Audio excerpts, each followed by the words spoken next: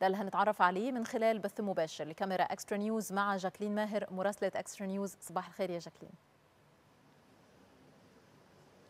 إنجي أنا بصبح عليكي وبصبح على دعاء وبصبح طبعا على السادة المشاهدين كل عام وأنتم بألف خير. طبعا أنا بتواجد إنجي داخل واحد من المجمعات الاستهلاكية في حي الدقي وهذا المجمع الاستهلاكي واحد من بين 1600 منفذ ثابت وفرته وزارة التموين والتجارة الداخلية وهو تابع لهذه الوزارة بالإضافة إلى السيارات المتنقلة في مختلف المحافظات بتقدم كافة السلع الاستراتيجية والاستهلاكية واللحوم والمجمدات بأسعار مخفضة بتقل عن الأسواق بنسبة لا تقل عن 30% بنتعرف مع المهندس حازم محمد وهو رئيس قطاع المجمعات الاستهلاكية بمحافظة الجيزه عن آلية الحفاظ على المخزون الاستراتيجي داخل هذه المجمعات وغيرها من المجمعات على مستوى المحافظات. وتحديدا في محافظة الجيزة باشمهندس برحب بحضرتك كل سنة وحضرتك بألف خير. يعني جهود مختلفة حضرتك حدثتنا عن أسعار بتقل عن الأسواق بنسبه لا تقل عن هذه الاسواق الخارجية. كلمنا إيه أبرز السلع اللي حضراتكم بتوفروها وباسعار قد إيه؟ أبرز السلع دلوقتي اللي موجودة عندنا طبعا الرز واحد كيلو كامل ب 10 جنيه عندنا السكر ب 10 جنيه ونص عندنا الزيت داخل المنظومة وخارجها ب 25 جنيه. عندنا طبعا الصلصة طبعا في الطماطم اليومين دول أسعارها مرتفعة شوية. موفرنا صلصة 300 جرام ب 4 جنيه 75 سواء في المنظومة أو خارج المنظومة. بالنسبة للمكرونة برضو عندنا نص كيلو ب 4 جنيه اللي هو بديل الرز متوفر طبعا برضو بكميات. المخزون الاستراتيجي في أقل مجمع دلوقتي سواء في محافظة القاهرة أو في محافظة الجيزة أو باقي محافظات الجمهورية ما بيقلش عن ثلاث شهور. طبعا غير المخزون المتوفر في مخازن الشركات الشركات الكبيرة كلها طبعا ما بيقلش عن حوالي ست شهور. فالحمد لله في مخزون استراتيجي متوفر بكميات كبيرة إن شاء الله. هذا بالنسبة للسلع الاستهلاكية والاستراتيجيه ماذا عن اللحوم والمجمدات والخضروات وما تتوفر به داخل المنافذ؟ آه بالنسبة للحوم طبعا الخضار إحنا بن بنطرح كميات خضار دلوقتي طازجة عشان طبعا شهر رمضان. وغير شهر رمضان الطماطم طبعا بره في الأسواق الخارجية من 20 ل 25 عندنا ب 12 ونص 13 ونص. فطبعا دي أوفر بكتير من بره. عندنا كل أسعار الخضار أقل من بره. بالنسبة للحوم عندنا اللحوم البرازيلي ودي طبعا لسه في معرض أهلا رمضان في, في كل المجمعات بنبيعها ب 80 جنيه بدلا من 85 عندنا اللحمه الهندي المجمدة برضو ب 56 جنيه. عندنا الدواجن ب 48 جنيه. دواجن البرازيل المجمدة كل ده طبعا متوفر مصنعات.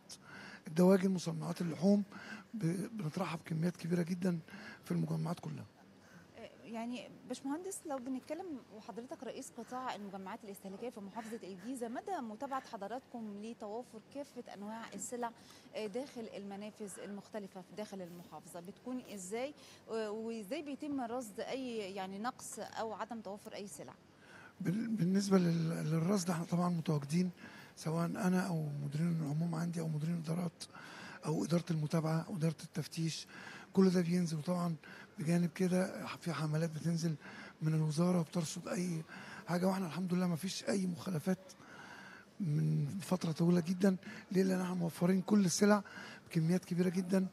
وأي سلعه بت بت بت يعني بت بتقرب على الانتهاء إحنا بنضخها مباشرة بأسطول سيارات عندنا في في الشركة بنوفره على طول للمجمع.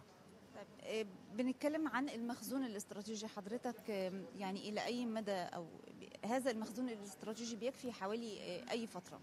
بالنسبة للمجمع حوالي مش أقل من ثلاث شهور. بالنسبة للشركة ما بيقلش عن ست شهور دلوقتي المخزون الاستراتيجي اللي فيها. بالعكس كمان ده في في بعض السلع متوفرة في في مخازن الشركة ممكن تكفينا سنة. باشمهندس لو بنتكلم عن كمان آلية منظومة التموين بيتم إزاي؟ وخصوصا طبعا مع الشهر الكريم وخصوصا طبعا مع يعني جهود الدولة المصرية في توفير كافة السلع لكل المواطنين بأسعار تقل عن الأسواق طبعا وتكون مختلفة كثيرا طبعا للتخفيف عن الكيان المواطن.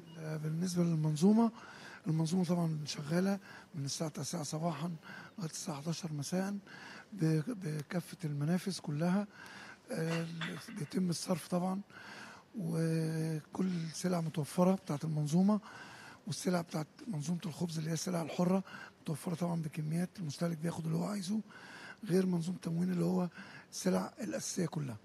حوالي كم سلعة داخل منظومة التموين متوفرة؟ بجانب طبعا السلع الحرة. حوالي 28 سلعة دلوقتي.